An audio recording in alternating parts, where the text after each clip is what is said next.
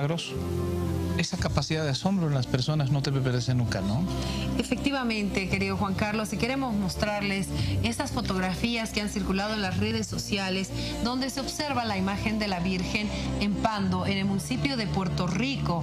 Una imagen eh, donde brota un líquido rojizo y mantenemos esa postura porque todavía no se ha confirmado que pueda ser sangre. Estamos en vivo en Pando. Estamos en vivo y nosotros le damos la bienvenida al padre eh, José Luis Mamani, que es párroco del Templo de Puerto Rico. Eh, antes que nada, padre, qué gusto escucharlo ahora y verlo también en directo. Hablamos con usted hace un par de días. Qué gusto, padre, ¿cómo está? El gusto es mío y pues la satisfacción de, que ustedes verdaderamente se están preocupando por hacer conocer este hecho que verdaderamente no tiene consternado aquí a la población de Puerto Rico, ¿no? A mí también me tiene sorprendido esto porque nunca jamás pensé en mi vida tener una experiencia de esta naturaleza, especialmente en la parroquia donde esté trabajando, ¿no? De verdad ha sorprendido al país esta imagen. Ayer usted nos comentaba que llegaba de eh, viaje de cobija y el hospital, el laboratorio del hospital, no pudo tomar una muestra porque ya la sangre estaba seca en la imagen. Efectivamente, cuando yo llegué directo de Puerto Rico, eh, de Cobija a Puerto Rico, pues me apersoné al al hospital para ver si verdaderamente habían tomado las muestras y habían hecho los análisis correspondientes. No, me, informaron de que ya cuando ellos vinieron, pues verdaderamente era demasiado tarde porque vinieron a eso de las 5 de la tarde más o menos y constataron de que ya el líquido rojizo que había derramado los ojitos de la Virgen, pues estaba ya como coagulado. Ahora, padre, a ver, para que la gente entienda, eh, tenemos el templo eh, allá en Puerto Rico, pero como usted me describía hace un par de días, eh, esto es una especie de grutita fuera del templo donde está esta Virgen, ¿verdad? Sí, sí, está al lado del templo. Ahí atrás usted tiene la imagen. A ver, eh, descríbanos, padre. Se ve todavía las muestras importantes de esto que parecería sangre, ¿verdad? Sí, sí. Pues prácticamente eh, se nota de que ha habido eh, un derramamiento de sangre de ambos ojitos. Las personas eh, han venido, pues, querido tocar, han sacado, han limpiado ahora, ¿no? Eh, esa misma noche de, después del evento, ¿no? Pero todavía tenemos la, sangre que ha caído aquí al, a la manito y cómo se ha venido deslizando hasta llegar a los pies. Es increíble la imagen que estamos viendo en vivo desde Puerto Rico, Pando. El párroco eh, José Luis nos está mostrando y describiendo lo que se está viviendo en este momento. Eh, Padre, por favor, la imagen que estamos viendo en vivo es realmente increíble. Nos deja muy asombrados, Juan, que yo me quedé con la boca abierta. Sí, definitivamente. Ahora, eh, Padre, ah, es como si hubiera sangrado de los dedos, hubiera sangrado eh, de los ojos, ¿verdad? A ver, cuéntenos un poquito. Pues prácticamente según las, eh, las como se dice, la las fotografías nos muestran que el, líquido rojizo pues ha caído directamente de los ojos, ha caído a las manos, ¿no? Y de ahí se ha deslizado, ¿no? Por todo lo que es el manto, el vestido, llegando hasta los pies. Padre, ¿cuál fue la reacción de la población eh, en cuanto se vio esta imagen? Tengo entendido que fue una mujer la que encontró esta imagen llorando o eh, e, derramando este líquido. Pues verdaderamente eh, los primeros testigos y testimonios que yo he recibido el día de ayer, ¿no? Pues prácticamente uno de los primeros testigos que, que vio esto fue un ex animador de la fe que tenemos acá en Puerto Rico, ¿no? el señor Navarro, junto con un par de señoras que se apersonaron para ver por primer, ser los primeros en ver este acontecimiento, ¿no? Ayudado por el testimonio de, un joven que pasó por aquí a prender su velita porque estaba yendo, dice, al, al colegio para un examen, no sé cómo era la cosa, pero él vino a pedir algo a la Virgen y fue cuando él vio que tenía, estaba cayendo, dice, ese líquido rojizo, él se asustó y corrió, fue a, a pedir ayuda para eh, que vengan a verlo, ¿no?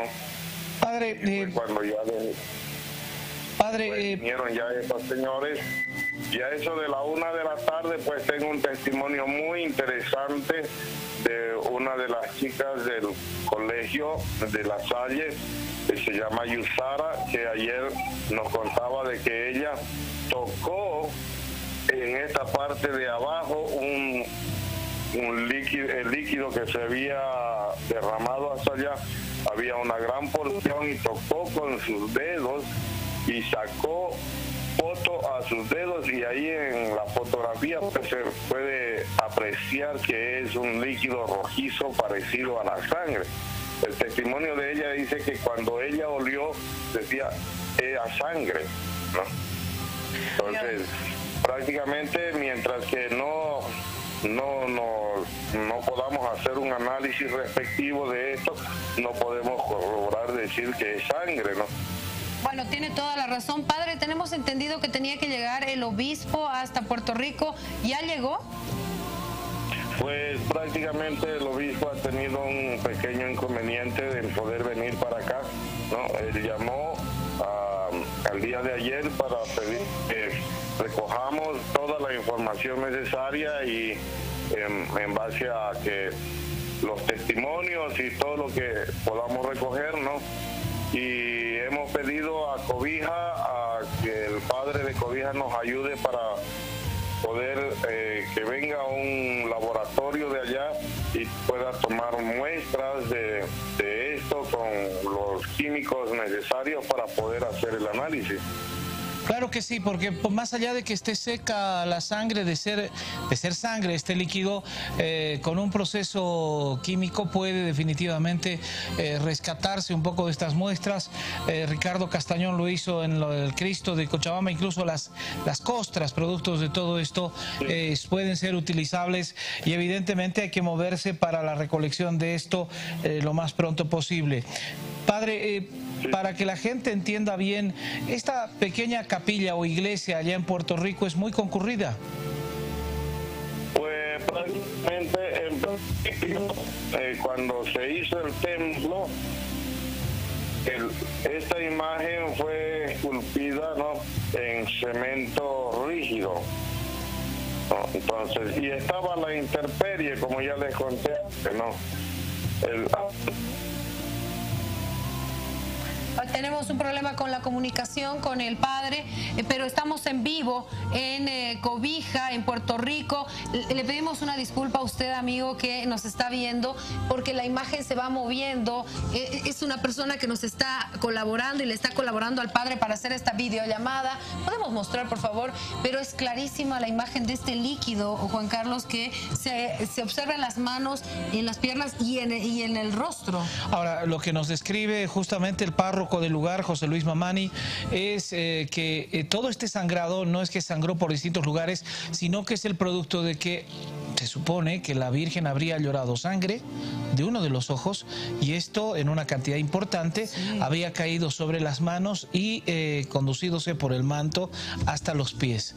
E incluso el relato de una de las estudiantes que pasó por el lugar y que tocó definitivamente eh, este líquido en los pies eh, habría, parecería sangre.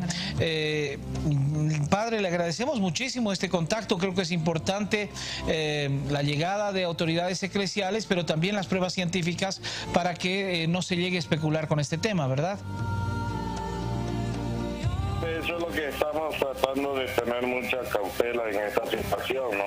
Mientras que no tengamos resultados positivos de análisis de laboratorio, pues vamos a seguir diciendo de que verdaderamente es un líquido rojizo que ha, salido de los ojos de la Virgen, de ambos ojos.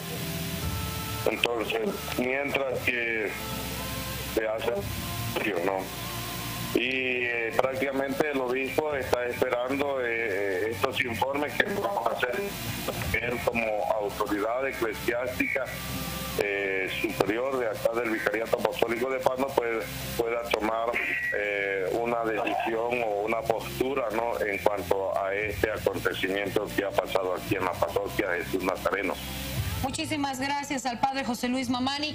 Voy a rogarle, eh, a modo de agradecerle también a la persona que nos ha ayudado con esta videollamada, eh, quedarnos con la imagen de la Virgen, por favor. Eh, es impresionante una vez más que nos pueda hacer el detalle del rostro y cómo habría caído este líquido de esta imagen en Puerto Rico en Pando. Impresionante. Con esta imagen nos vamos a la pausa. Eh, sí, pero Priscila, para complementar esto, bueno, eh, la gente, lo primero lo que pedimos es que sea escéptica. Hasta que no hayan pruebas, eh, digamos, científicas, que sea escéptica.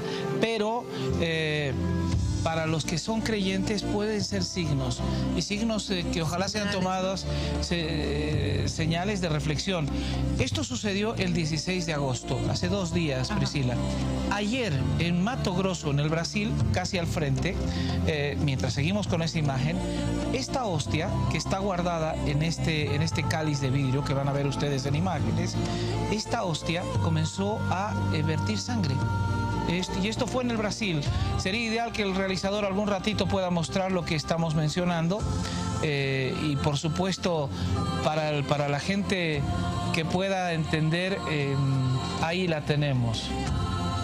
Ahí estamos, eh, sí, esta hostia, esto sucedió en Mato Grosso ayer, la gente se, acercó y podía ver cómo esta hostia emanaba sangre. Es una hostia común y corriente que tomas en la confesión, pero empezó a teñirse como de rosada y de ahí comenzó a botar sangre. hay algunas fotos más de Ricky, que nos han hecho llegar, la colocaron en una especie de, urna y mira cómo la copa se llenó de, sangre o, de, vino.